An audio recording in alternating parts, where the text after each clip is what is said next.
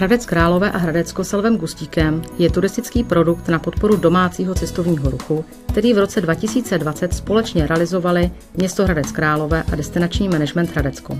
Cílem kampaně bylo nalákat turisty k návštěvě města Hradce Králové a Hradecka, motivovat rodiny s dětmi k návštěvě atraktivit, pomoct provozovatelům po první vlně covidu a nabídnout ubytovaným hostům například kempu Stříbený rybník typy na výlety. Průvodcem kampaní je hradecký lev Gustík. Je to postava lva, která vychází z městského znaku, na kterém lev drží písmeno G. G symbolizuje název města, dříve nazývaného Gradec.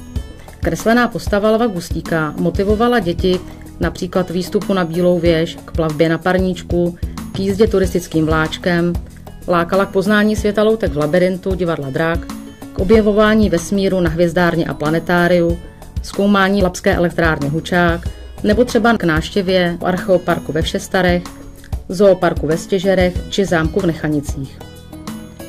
Do kampaně bylo zapojeno 31 atraktivit v Hradci Králové a 13 subjektů na Hradecku. Během prázdnin děti sbíraly samolepky v atraktivitách při zakoupení vstupenky. Samolepky z motivy lvíčka děti lepily do hrací karty a za všech 8 samolepek získali v infocentru odměnu ve formě dřevěné magnety lvíčka Gustíka. Kampaň, jejím sloganem je Do Hradce a na Hradecko Gustík pozve každé děcko, bude pokračovat i v dalších letech.